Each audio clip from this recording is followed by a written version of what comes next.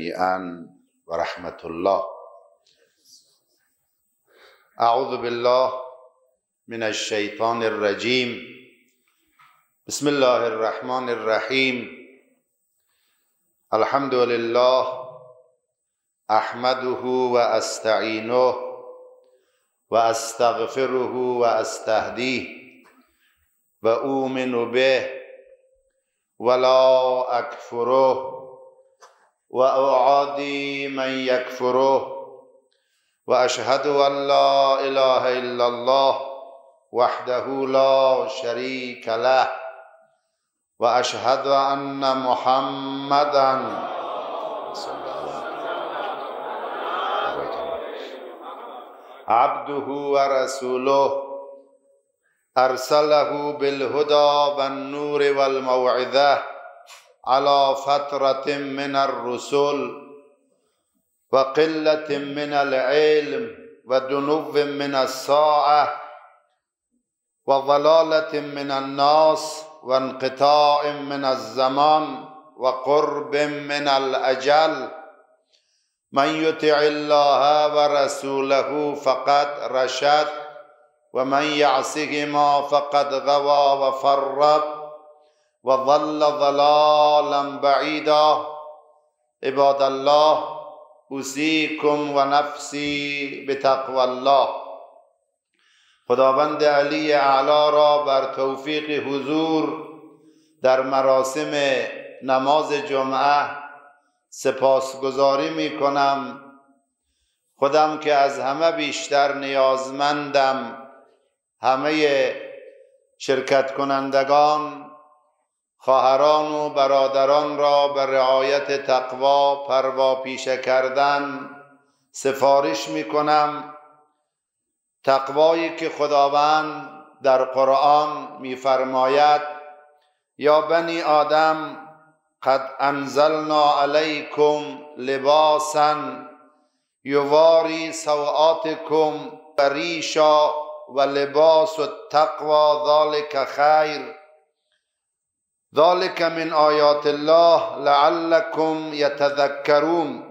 فرزندان آدم در حقیقت ما برای شما لباس فرستادیم که اوردهای شما را پوشیده می دارد و زینت است اما بهترین لباس بهترین هدیه ما تقواست.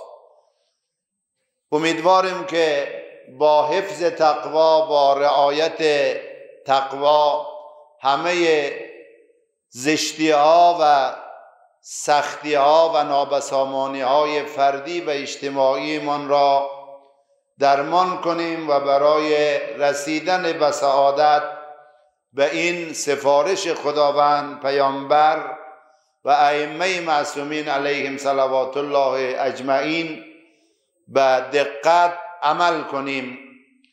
در خطبه اول بحث قرآنی درباره حضور جامعه اسلامی در صحنه های زندگی مخصوصا صحنه های حساس و سرنوشت ساز و شرایط این حضور که بحث وفاداری یکی از این شرایط است. مطالب را به سمع شما مهمانان حضرت حق خواهم رسان خطبه دوم مسائل روز مسائل جاری کشور و مردم مناسبت هایی که داریم مخصوصا در آستانه ولادت یازدهمین ستاره آسمان ولایت و امامت. امام عسکری علیه السلام قرار داریم و این موضوعات هم از باب وظیفه و مسئولیتی که نماز جمعه دارد خواهیم پرداخت. اما بحث خطبه اول هر نظامی هر حکومتی و هر حاکمیتی در صورت دوام و بقا و استمرار پیدا می کند که این حاکمیت پشتوانه مردمی داشته باشد. حضور مردم همسویی و هماهنگی مردم می تواند باعث بقای حاکمیت و نظام باشد. حاکم را و حاکمیت را در استقرار و در استحکام و در پیشرفت یاری کند و عدم حضور و فاصله مردم می تواند باعث ازمهلال باعث تزلزل و حتی سقوط حاکمیت ها شود. پس صعود و پیشرفت حاکمیت سقوط و نابودی حاکمیت به شکل یک قاعده کلی بستگی دارد به حمایت مردم و پشتوانی مردم و عدم حمایت و عدم حضور و پشتوانی نکردن مردم. به عنوان اینکه هر چیزی را قرآن مطرح کرده لا رتب ولا یابس الا فی کتاب مبین و کل شیء احسیناه فی امام مبین. هر ضرورت و هر نیازی را قرآن مطرح کرده یکی از دستورات قرآن تأکید بر حضور مردم در صحنه های اجتماعی است. به قدر حضور مردم در صحنه زندگی در صحنه جامعه در حرکت های بزرگ و سرنوشت ساز مهم است. قرآن میفرماید مؤمن و مؤمنان که مورد تایید قرآن و خداست کسانی هستند که در امر جامع بدون اجازه پیغمبر صحنه را رها نمی کند. در سوره مبارکه نور آیه 62 صفات مؤمن و مؤمنین را بیان می کند. از جمله صفات مؤمنین حضور در اجتماع و حضور در برنامه های بزرگ و کلان اجتماعی را مطرح می کند. انما المؤمنون مؤمن کیست؟ مؤمنان کیانند الذین آمنوا بالله و رسوله. اونهایی که خدا را قبول دارند و پیامبر را قبول کردند اما تنها قبولی خدا و اعتقاد به خدا و اعتقاد بر رسالت پیامبر ایمان را کامل نمی کند. و اذا کانوا معه علی امر جامع لم یذهبوا حتی یستأذنوا.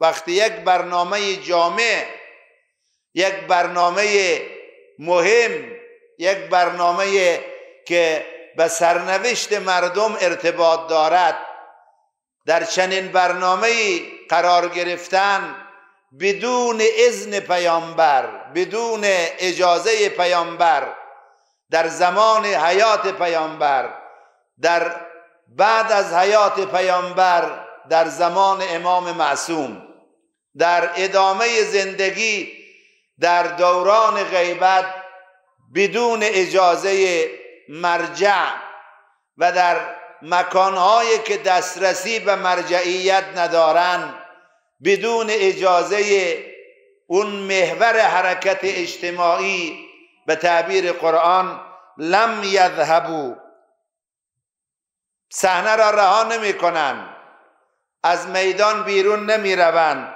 حتی یستعزنو تا اینکه اجازه بگیرند سرنوشت و در واقع آینده را با اذن و اجازه و با برنامه ریزی مشخص کنند این آیه که در سوره مبارکه نور است.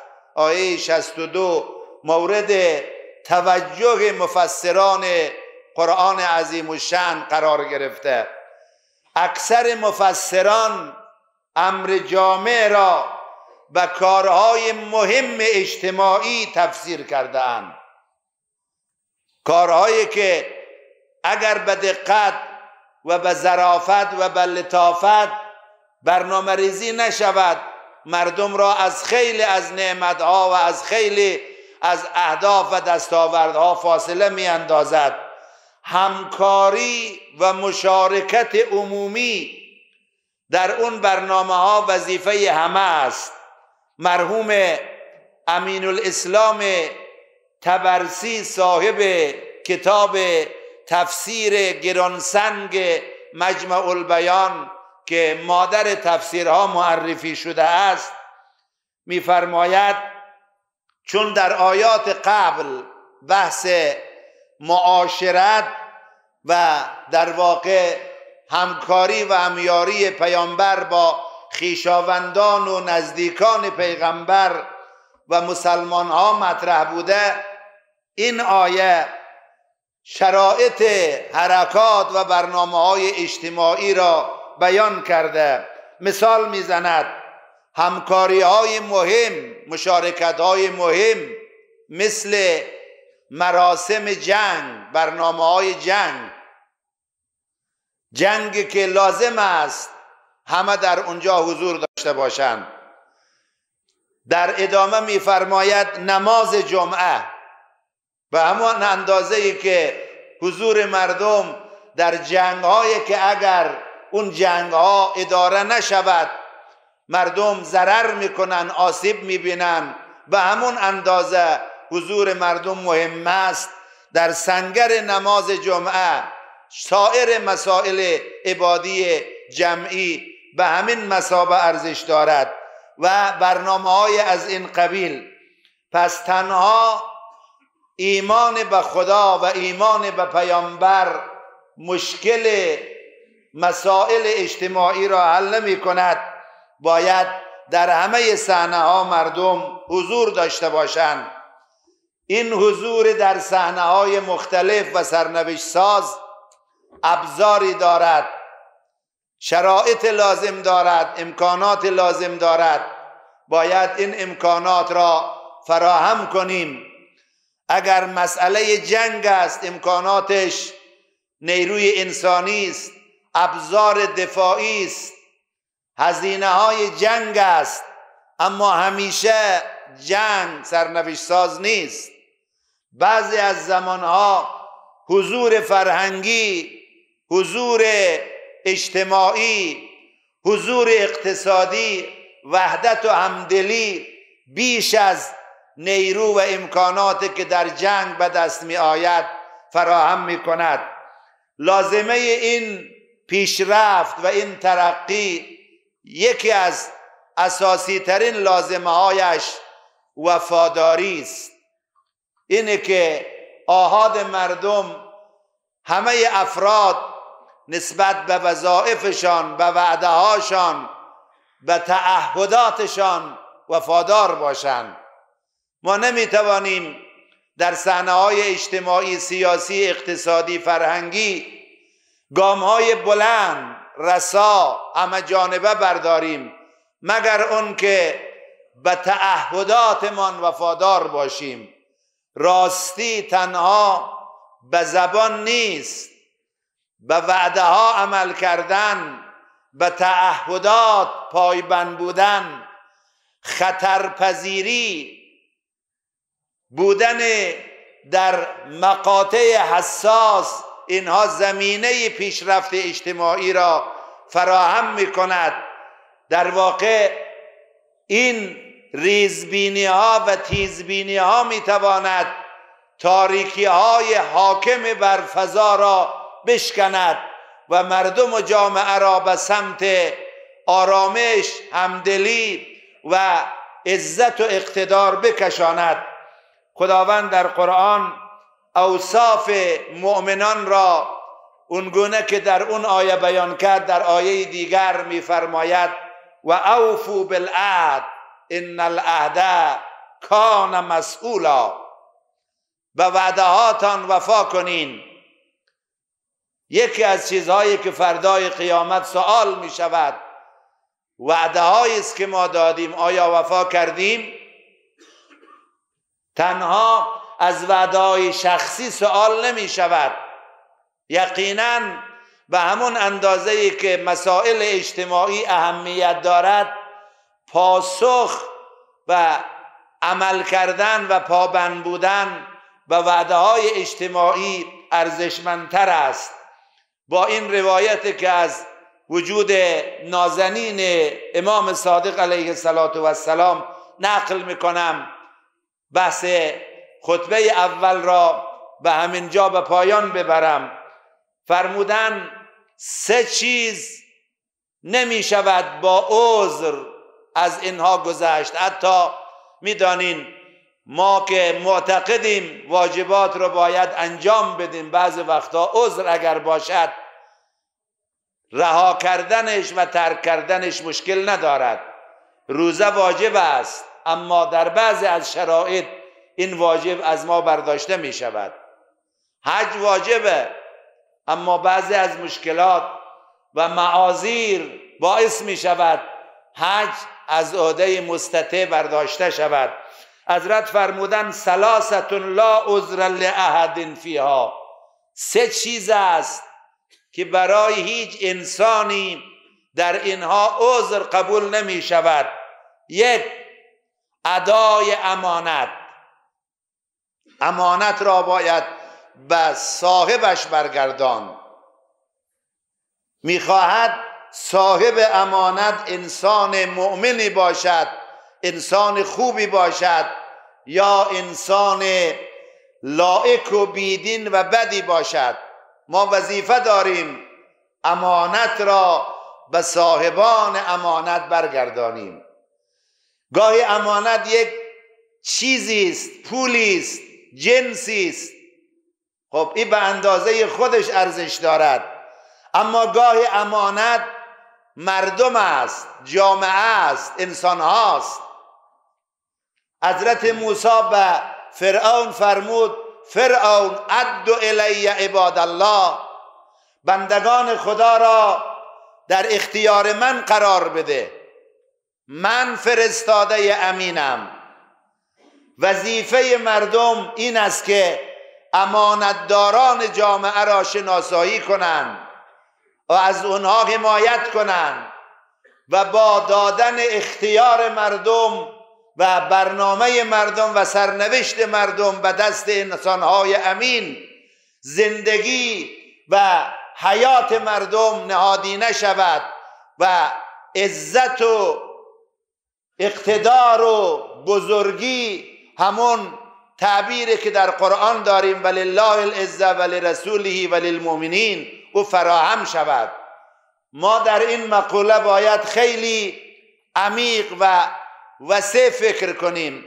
حاکمیتی که با این ویژگی ها با این تعهد کار نکند. از پیشرفت از عزت و از سعادت و سعود چیزی نصیبش نخواهد شد. دوم والوفاء بالعهد للبر والفاجر. ما وظیفه داریم وفادار باشیم. طرف ما می‌خواهد آدم سالم باشد و مؤمن یا ناسالم و فاجر. سه و بر الوالدین برین کانا ام فاجرین. احترام و رعایت حقوق پدر و مادر. بر همه انسان ها لازم است. استثناء ندارد. خواه انسان های بر باشند و نیکو باشند یا انسان های ناسالم. البته احترامشان لازم است اما اطاعتشان در جایی که در مقابل خدا قرار نگیرند لازم است. اما اگر دستور به معصیت دادن دستور به مخالفت با خدا دادن. اونجا از باب این که لا طاعت لمخلوق فی معصیت الخالق ما نباید خدا را معصیت کنیم برای طاعت و احترام به مخلوق. اونجا باید پی حرف کسی که مخالف حرف خدا ما را هدایت می‌کند و حرکت می‌دهد نرویم. امیدواریم که با استفاده از این رهنمایی های قرآن برای ساختن یک جامعه با عزت با ویژگی های سعادت و خوشبختی حرکت کنیم و گام های وسیع و بزرگ اجتماعی را بیش از پیش با برنامه ریزی برداریم. اعوذ بالله من الشیطان الرجیم. بسم الله الرحمن الرحیم. والعاسر إن الإنسان لفي خسر إلا الذين آمنوا وعملوا الصالحات وتواصوا بالحق وتواصوا بالصبر. اللهم صل على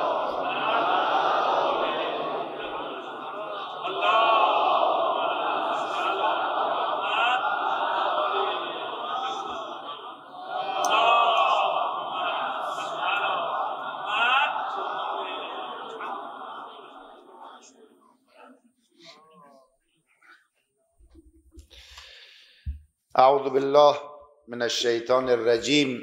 بسم الله الرحمن الرحيم. الحمد لله.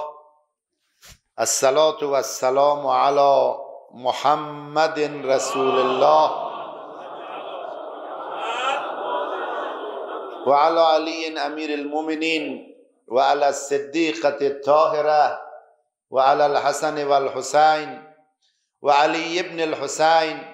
ومحمد بن علي وجعفر بن محمد وموسى بن جعفر وعلي بن موسى ومحمد بن علي وعلي بن محمد والحسن بن علي والحجة الخلف الصالح.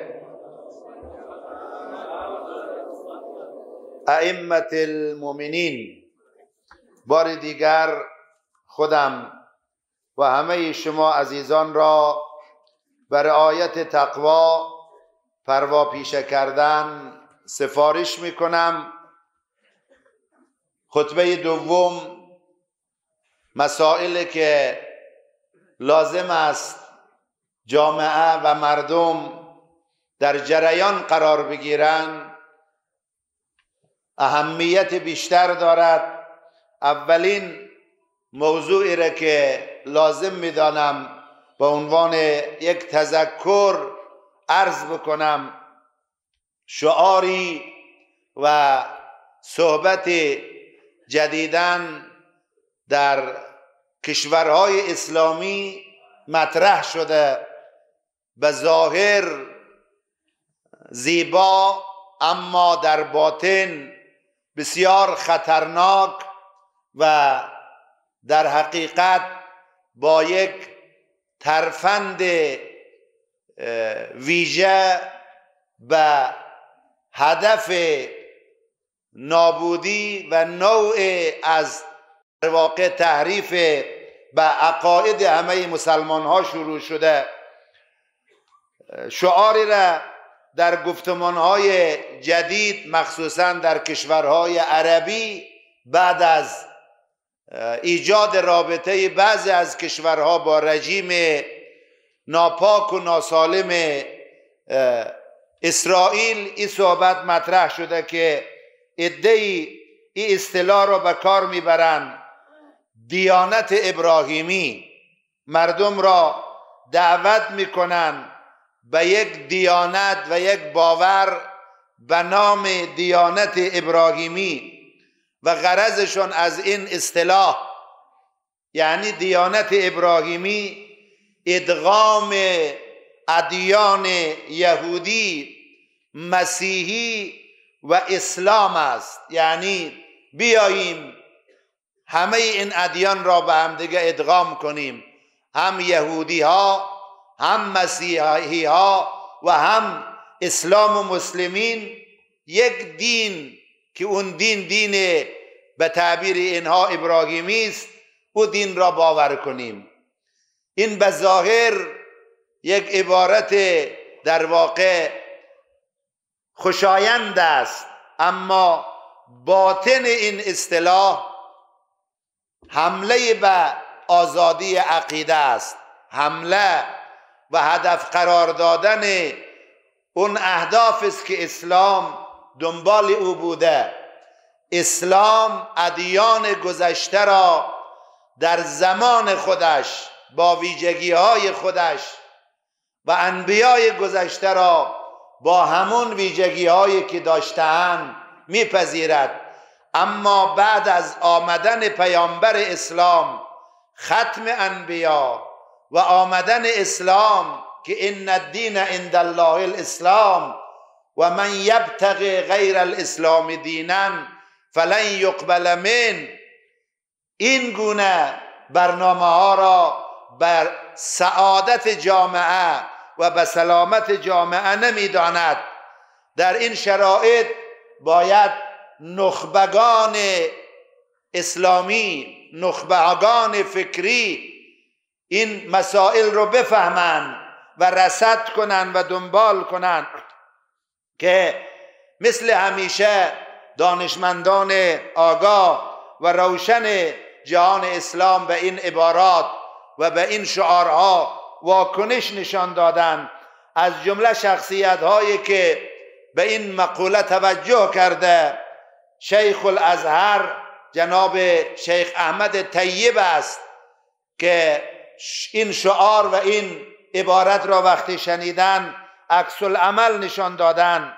مخصوصا کسانی که در دنبال عادی سازی روابط کشورهای اسلامی با رژیم سیونیستی هستند از این عبارات و از این شعارها استفاده می‌کنند مطلب دوم موضوع است که امروز مردم ما کشور ما جامعه ما به اون مسائل و به این وضعیت مبتلا هستند و گرفتار هستند مدیر برنامه جهانی غذای سازمان ملل. سازمان ملل در بخشای مختلف مسائل اجتماعی کشورها برنامه دارد مدیریت دارد در بخش درمان در بخش امنیت در بخشای مختلف یکی از بخشا بخش مهمش مدیر برنامه مدیریت برنامه غذایی است. مدیر این برنامه در مصاحبه که داشت از وخامت بحران انسانی در افغانستان هشدار داد و او را به عنوان بدترین فاجعه انسانی کنونی در روی زمین خواند یعنی فاجعه در راه است که بدترین فاجعه در روی زمین است. نزدیک به 23 میلیون انسان در افغانستان در حال حرکت به سوی گرسنگی هستند. شما در گزارشات شنیدین 95 درصد مردم افغانستان دسترسی به غذای کافی ندارند امید است که در این قضیه هم جهان توجه کنند و هم حاکمیت توجه بکنه واقعا جای خجالت است. اخلاقی که می‌تواند همه مشکلات را حل کند امروز در جامعه بشری و در جامعه اسلامی حتی در بین ساکنین یک کشور رعایت نمی شود. امروز دنیا 400 تریلیون ثروت دلار در اختیار دارند. 400 تریلیون دلار سرمایه است در اختیار بشریت. شرماور است که امروز این جمعیت کوچک در مقابل این امکانات بخششان این گونه گرسنه باشند. انک لعلی خلق عظیم. باید اخلاق را از پیامبر یاد گرفت از قرآن یاد گرفت که اخلاق پیغمبر قرآن است. یکی از بالاترین اخلاقیات حسنه کمک به نیازمند است. خدا به پیغمبر این دستور داد و عمل کرد. وقتی با یتیم و مسکین و اسیر برخورد کرد چگونه برخورد کرد؟ او شخصیتی است که وقت فقیری به در خانه کسی می رود و به آدرس کسی می آید می فرماید متوجه باش این فقیر فرستاده خداست. امیدواریم که این مقوله حل شود. بعد از حاکمیت تحریک طالبان امارت اسلامی مشکل اقتصادی روز به روز بیشتر داره میشه. مهاجرت رو به افزایش است. در این مدت کوتاه بیش از سه نفر سهصد هزار نفر تنها به کشور همسایه ما ایران مهاجرت کردند. در روز بین چهار تا پنج هزار نفر به خاطر نزدیکی با این کشور همسایه و اینجا در حال رفتنند یک حجم بالایی هم به کشور پاکستان و تعداد هم توسط امکانات ویژه‌ای که فراهم می‌شوند با پرواز از کشور در حال خارج شدنند باید با یک تعامل با یک برنامه ریزی وضعیت موجود را بشکنیم و بشکنند و فضا و زمینه ارتباط را با جهان فراهم کنیم. در نشست که در اسلام آباد صورت گرفت تحت عنوان اعضای نشست ترویکا پلاس چهار کشور و نمایندگان چهار کشور در این نشست حضور داشتند نماینده پاکستان نماینده آمریکا نماینده روسیه و همینطور نماینده چین اگرچه هیئت از امارت اسلامی رفته بودند اما اجازه یا شرایط حضور در این جلسه را به اونها ندادند و قرار بر این شد که کسانی که در اون اجلاس بودند بعدا این گفتگوها و این دستاوردها را با نماینده های امارت شریک کنند. همه اینها نگرانند که وضعیت زندگی در افغانستان سخت شده. ما خواهشمان هم از امسایه ها و هم از امارت و مسئولین این است که زمینه تعامل زمینه همکاری را فراهم کنند. یقینا شرایط را که امارت دارد اگر معورها و معیارهای جهانی را داشته باشد دیگران باید بپذیرد و آنچه که حقوق لازم و اساسی و بنیادی یک حاکمیت است اونها را باید در نظر بگیرند تا این وضعیت بیش از این به سمت وخامت نرود.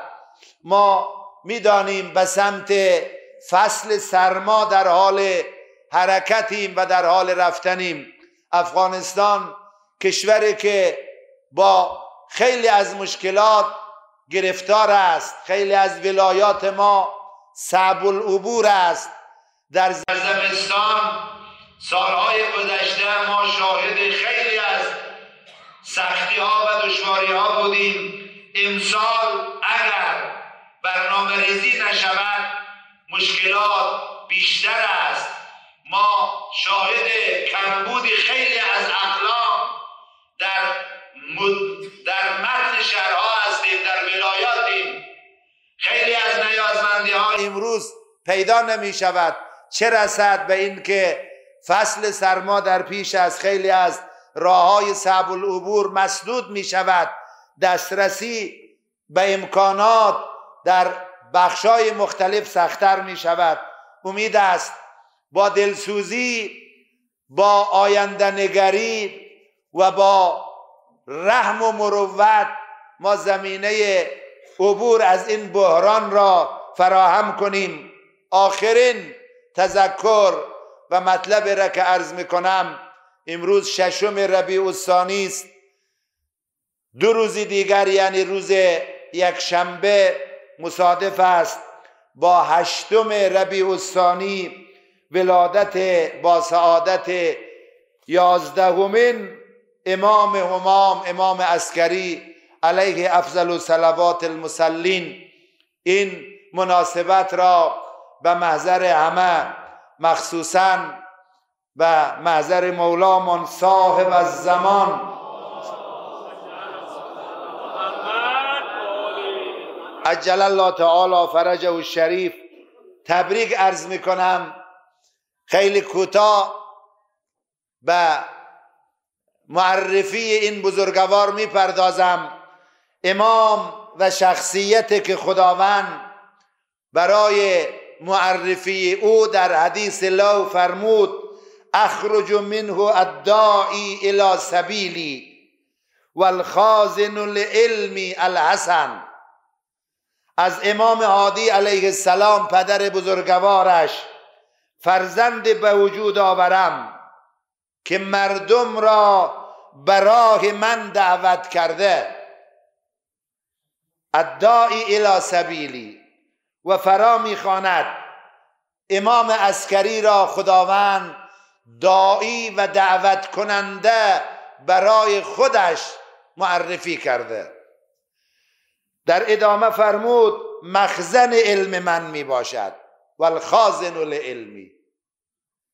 خداوند که همه علوم در اختیار اوست. درون سینه ها را می‌داند درون چشم ها را می‌داند. حتی آینده انسان ها را می‌داند. امام عسکری را مخزن علم خودش معرفی کرده. الحسن. خیلی از شبهات خیلی از مطالب که برای بصیرت و معرفت لازم است. با تجلیل و یادآوری از این مناسبت ها حل می شود خیلی ها سوال می‌کنن امام را که انتخاب کرده؟ شما ببینین در حدیث لو که روز ولادت آقا امام حسین علیه السلام جبرائیل امین در محضر و در اختیار پیغمبر آورد و در اون حدیث ائمه معصومین همه معرفی شده بودند قبل از ولادتشان امام عسکری را خداوند این گونه معرفی کرد. امامی که پیغمبر فرمود جعله نورا فی بلاده. خدا او را نور خود در شهرهایش و جانشین خود در سراسر زمین و او را مایه عزت امت اسلام و راهنمای شیعیان و شفاعت کننده آنها در پیشگاه خود و مایه عذاب برای مخالفان و حجت برای دوستان و برهان و دلیل برای معتقدان به امامتش قرار داد. این حدیث در کتاب اعلام الوراست صفحه 380 این بزرگواره که در بیان خدا و در بیان پیامبر این گونه معرفی شده زحمات زیاد را کشیدن از دو سالگی تا پایان عمر کوتاهشان در سامرا زیر نظر بود در یک نقطه نظامی و عسکری.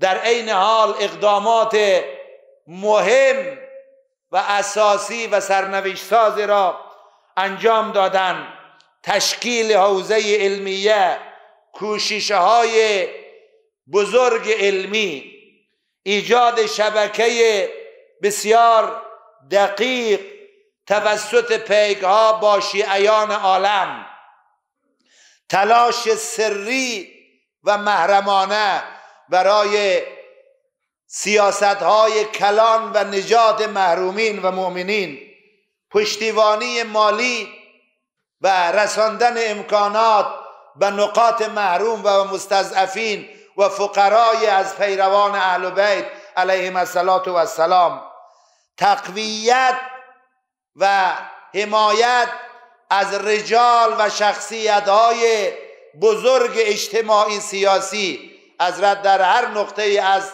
دنیا شخصیتی که خدمتکار و دلسوز به جامعه ولایی بوده اینها را حمایت کرد. استفاده گسترده از آگاهی ها و اعتقادات غیبی و کرامت ها و عنایات ویژه‌ای که به حق دوستانشان داشتن اینها همه به اعتقاد من یک طرف آماده سازی شیعیان برای دوران غیبت. شیعی که با یازده امام ارتباط فیزیکی داشت دسترسی داشت اینها را آماده کنند برای قبولی یک امام که دسترسی فیزیکی به او امام ندارند به او اعتقاد پیدا کنند. الحمدلله این حرکت نتیجه داد. امروز شما مؤمنین و هزاران و میلیون ها انسان به این باور عقیده دارند این باور و این عقیده اگرچه از آغاز خلقت بوده در زمان ظهور پیامبر بوده اوج این گفتگو در حیات پیامبر و حیات ائمه معصومین بود. اما اعتقاد بعد از شهادت امام عسکری به این اعتقاد و به این باور یکی از شاکارها و عظمتهایی است که امام عسکری علیه السلام این برنامه را با عهده داشت و به شکل بسیار زیبا و حساب شده این باور را انتقال داد. فرزند عزیزی او صاحب از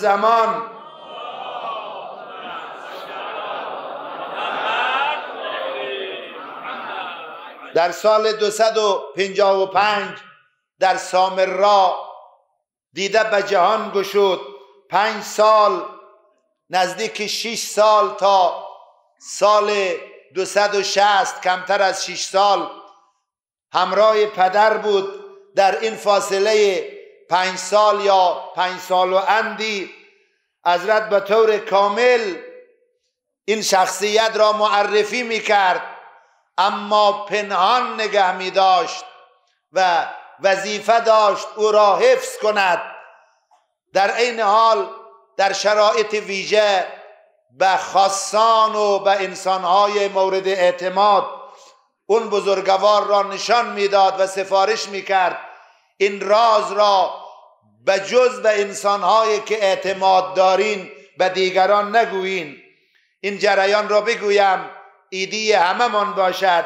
یکی از شیعیان به نام ابراهیم ابن محمد ابن فارس نیشابوری به جرم ارتباط با امام عسکری در شرایط قرار گرفت که فرماندار عراق از طرف معتمد عباسی به نام امر ابن عوف تصمیم گرفت این شخصیت ابراهیم ابن محمد ابن فارس نیشابوری را اعدام کنه از جانش احساس کرد احساس خطر کرد به جرم ارتباطی که با حضرت داشت تصمیم گرفت با خانواده خداحافظی کرد از سامرا برای اون که از کشتن در امان بماند. چرا که امر ابن عوف در کشتن دوستان اهل بیت هیچ عبایی نداشت رحم نداشت. می‌گوید تصمیم گرفتم برای نجات جانم از شهر بیرون بروم. با خانواده خداحافظی کردم. با خودم گفتم بروم از امامم اجازه بگیرم.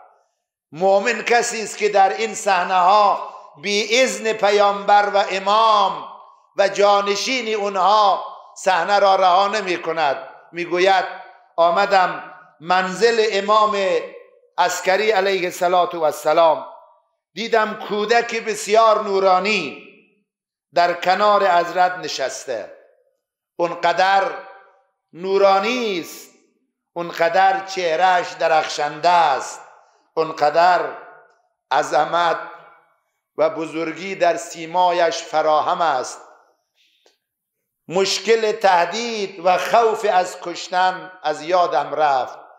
چهره زیبا و ملکوتی تاووس بهشتیان مرا از همه چیز دور کرد در آرامش و در تمنینه فرو رفتم. همه چیز را فراموش کردم. یک مرتبه دیدم. این کودک صدا زد. یا ابراهیم لا تهرب. فان الله سیکفیک ای ابراهیم فرار نکن. خداوند به زودی تو را از شر فرماندار کفایت می‌کند. تو را نجات می‌داد می‌دهد. تا این جمله را فرمود بر حیرتم افزوده شد به امام عسکری عرض کردم آقای من فدایت شوم.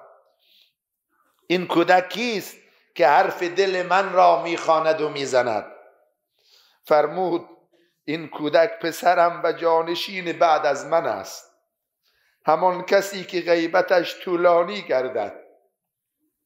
و پس از پر شدن سراسر زمین از ظلم و جور آن را پر از عدل و داد می کند. عرض کردم آقایم نامش چیست؟ فرمود هم نام رسول الله و هم کنیه اوست. فرمود آنچه دیدی و از ما شنیدی بپوشان و جز به اهلش و کسی نگو. می‌گوید به این خاندان درود فرستادم. با کمال اطمینان و لطف خدا از محضر اونها بیرون آمدم. تصمیم گرفتم به خانم برگردم. آمدم به خانم با آرامش نشستم. به من خبر رسید. همون روز به من خبر رسید. معتمد معتمد عباسی فرمان کشتن این حاکم یعنی امر ابن عوف را صادر کرده و او را دستگیر کرده و پیکرش را قطع قطع کرده. امروز هم خدا را شاکریم که به این عزیز الهی به این ذخیره الهی به این حجت خدا معتقدیم و یقینا اگر متوسل شویم و از خدا و از این خلیفه الهی کمک بگیریم و به وظایفمان عمل بکنیم. همه مشکلات و سختی ها قابل درمان است. خدایا ما را بیش از پیش شایسته سربازی و نوکری این شخصیت را عنایت بفرما امنیت خدایا برکات وحدت و عزت را نصیب دولت و ملت و مردم ما بگردان. عزیزانی که با حضورشان در همه صحنه ها در نماز جمعه به عزت و شکوه اسلام می افزایند اینها را از همه خطرات از همه بلیات محافظت فرما هوایج همه مد نظره ها هوایج مراجع ازام تقلید علمای خدوم اهل خیر اونهایی که التماس دعا گفتن مد نظرن خدایا برآورده به خیر بگردان. اعوذ بالله من الشیطان الرجیم. بسم الله الرحمن الرحیم. اذا جاء نصر الله والفتح ورأيت الناس يدخلون في دين الله افواجا فسبح بحمد ربك واستغفر. انه كان توابا.